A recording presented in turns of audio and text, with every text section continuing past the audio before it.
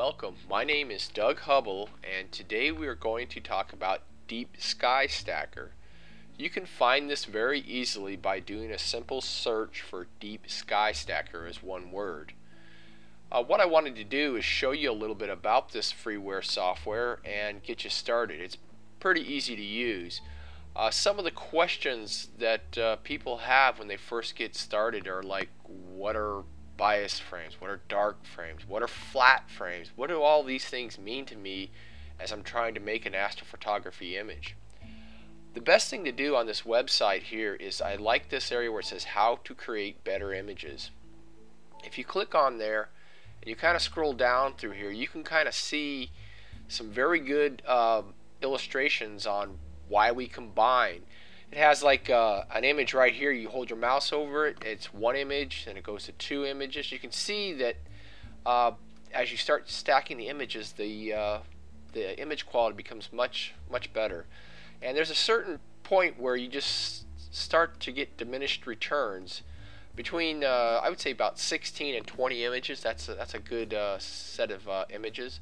Now, continue on through this right here, talking about the, the calibration. It says uh, how to use dark, flat, and bias frames.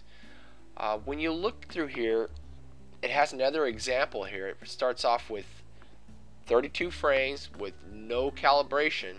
As you go through it, it shows that the same image with 32 uh, frames and 20 darks, 20 flats, and 20 biases. So using these frames, you can see it really makes a big difference. And I highly recommend, you know, coming to this website, downloading the software, and click on how to create better images. It's a very informative uh, read, and you can get all kinds of information on how uh, the things work in uh, the Deep Sky Stacker program. So let's get started with the actual program. I have here I've already preloaded some of my uh, image files and using Deep Sky Stacker very easy. I mean it goes through the steps right here. One, open picture files. Two, open your dark files. Open your flat files.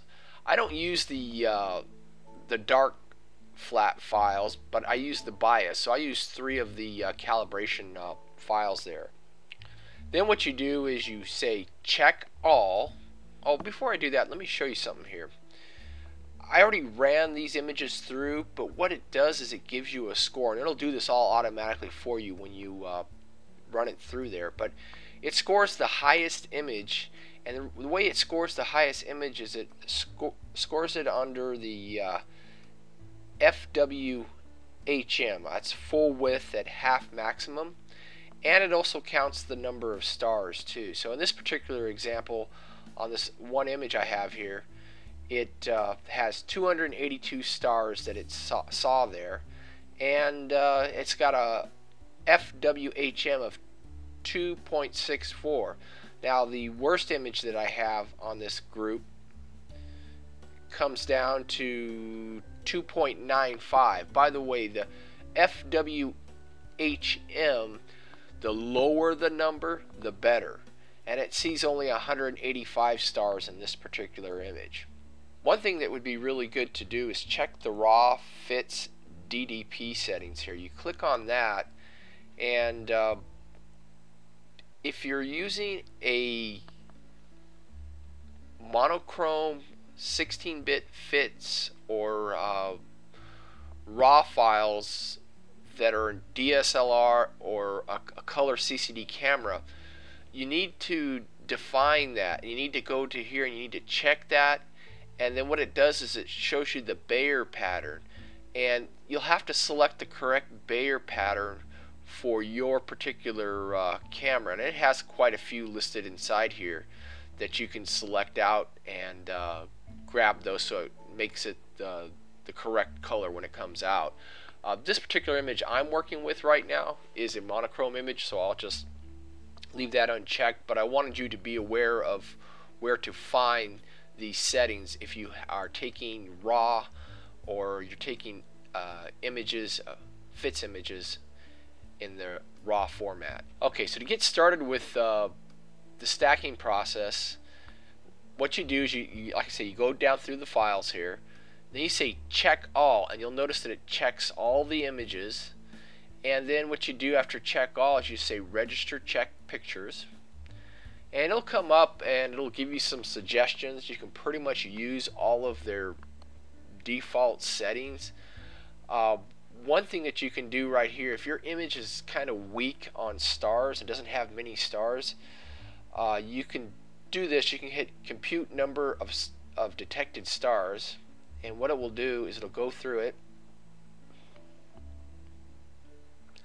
And it found 288 stars.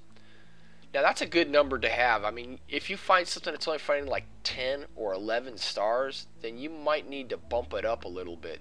Take this slider and if you slide it, you know, slide it over a little bit to the left and you say compute again, what it will do is it should come up with a higher number of uh, stars. I would say if you could get stars in the area of at least 100, then you'll uh, you'll be pretty good. But some images you might find that have a very few uh, uh, stars in it. So I, I, like to use about 10%. Uh, Getting back to here, what you can do here is you can just uh, you can go to these recommended settings and you can kind of see what it's excuse me what it is suggesting to to use. I highly recommend Sigma clipping as the combination method for all of your images. Now Sigma clipping basically requires 15 images or more. So use Sigma clipping whenever possible. And then for your bias and dark frames, you can just use the medium method of uh, combining. The stacking parameters, if you would like, you can go inside here and you can uh, uh, play around with some of these settings. Uh, there's the mosaic mode, if you would like to, uh, you know, create a, an image that has several different frames that are offset. Uh, standard mode is usually what I use, and uh, after you've kind of, you can, like I say, you can browse through these. Uh, if you want to go the light frame, like I'm just using the default setting, this Kappa Sigma clipping is, is what I'm what I'm using.